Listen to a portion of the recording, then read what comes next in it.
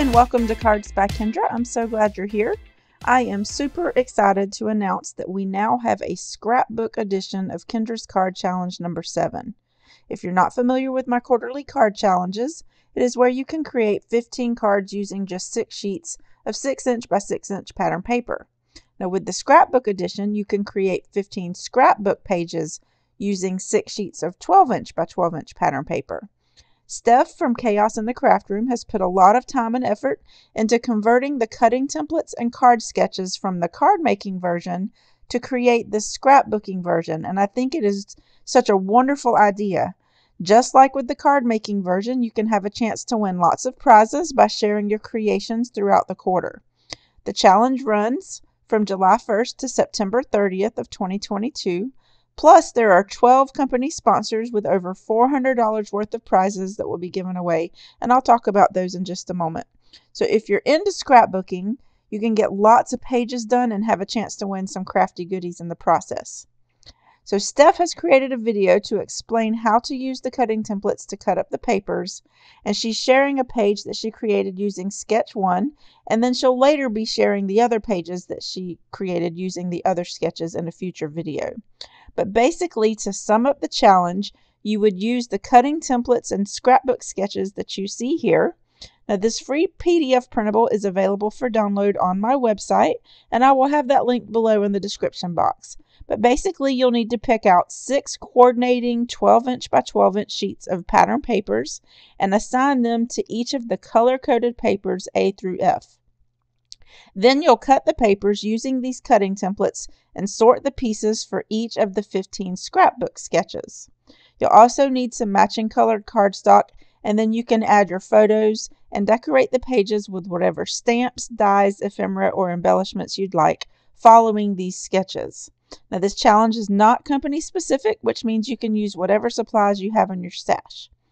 The first two here that are red and blue are labeled as paper A and B.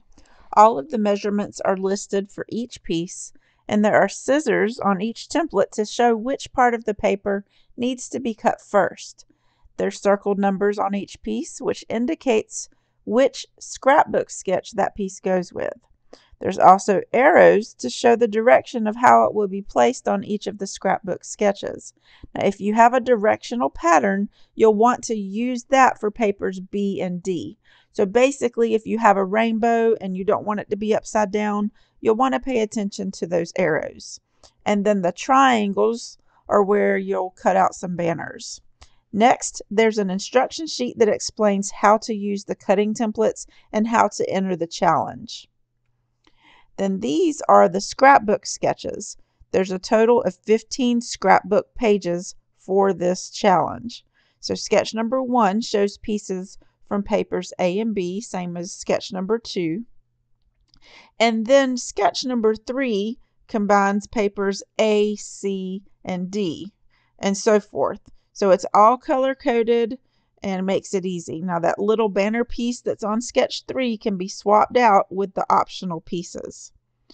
And then for sketch number six, which we'll get to that here in just a second, this is where you're going to use an embossed, stenciled, or textured background. Now these sketches are flexible. You can use whatever shape or embellishments you'd like rather than the shapes that are shown on the sketch or the, the sizes of the photos, I should say. And you don't have to follow the sketch exactly. It's just the starting point to get you going. You can change it up if you need to to make it work with the supplies that you have on hand. And you can use colored cardstock to create your mats. And to keep costs down, remember you can cut out smaller mats from the larger ones that will be hidden behind the pattern paper or your photos. Plus, you can rotate or flip the sketches if needed. Now, last quarter, Steph did a video showing how she turned challenge number six into scrapbook pages, and I will link that video above here so you can get an idea of what I'm talking about. I loved her idea so much, we've teamed up together to offer more of a variety to the paper crafting community where they can participate in these challenges because I know that there's a lot of people that love to scrapbook also. Now, as mentioned before, you can find the free printable to download on my website at cardsbykendra.com. The printable includes a link that will take you directly to my Facebook group called Kendra's Card Challenges, which is also linked down below in the description box. Request to join this group, and once approved, this is where you will upload your photo of all 15 scrapbook pages into the KCC7 official entry photo album to enter the challenge. There are also separate albums for each sketch that you can share a photo of each scrapbook page individually. Now, even though the photo albums have cards in them, the sketches are similar for the scrapbook edition, and you can just add them here for this quarter. Next quarter, we'll have a separate photo album. Now, you can officially enter the challenge up to three times, but only once per month throughout the quarter. But please feel free to share all of your creations in the Facebook group if you decide to do more. We love to see all of the wonderful creations. Now, if you're not on Facebook, you can email me your photo, and you can also upload your creations to social media using the hashtag Kendra's Card Challenge 7 and a few other hashtags that Steph included on the instruction sheet, just so that others can see your creations and be inspired. Now let's talk about all of the amazing prizes that you can win. As mentioned before, there are 12 company prize sponsors this quarter, and I will explain what those prizes are. Each month, you can have a chance to win a stamp set from Colorado Craft Company, a digital download of your choice from TLC Designs, and a confetti mix from This Calls for Confetti. At the end of the challenge, we'll draw winners for these prizes a $25 gift certificate to Gina K Designs, a $20 gift certificate to Kat Scrappiness, a $25 gift certificate to Not Too Shabby Shop, a slimline die cutting system from Picket Fence Studios, a $25 prize pack from Pink and Main, a $25 gift card from Scrappy Tales Crafts, a $50 gift certificate to Sweet November Stamps, a $25 gift certificate to This Calls for Confetti, a $30 gift certificate to Trinity Stamps, and a $50 gift voucher to Whimsy Stamps. You can also see the full list of prizes on my website. In addition, Steph is sponsoring a gift voucher to scrapbook.com to be given away to a randomly chosen scrapbooker that posts in the official entry album. I want to thank all of the generous sponsors for their support. Now I would like to share some things with you in regards to picking out your pattern papers and a few other tips. Now usually paper pads or collection kits have coordinating papers with patterns that go together, and I would highly recommend choosing double-sided paper so you'll have more options once you cut the papers. If one side doesn't match, you can always flip it over and use the other side. You'll want to look at each of the sketches to see which patterns will be paired together to make sure the patterns will look good. Try not to use two large patterns together. You don't want it to look too busy. Also, you'll want to take into consideration the colors in your photos.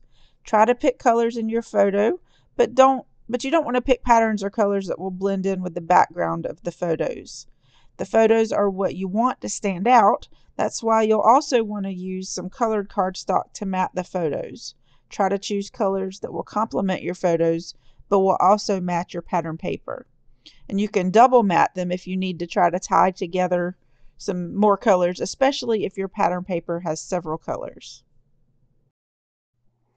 I hope you'll join us on the scrapbook edition of challenge number seven and share your creations on social media. If you have a YouTube channel and you share a video of your creations on YouTube using the hashtag Kendra's Card Challenge 7, you'll get two entries into the contest rather than just one.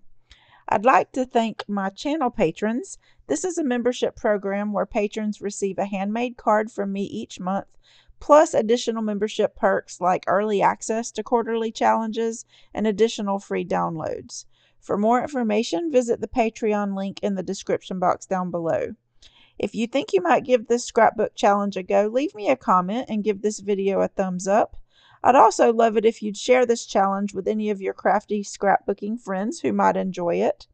Now go check out Steph's video if you haven't already. She'll have more details about her scrapbook edition and some examples. I will have her channel linked in my description box below. Also, I'd love it if you'd like this video, Click that thumbs up and subscribe to my channel if you're not already a subscriber. Thank you so much for watching, and I hope you have a wonderful crafty day.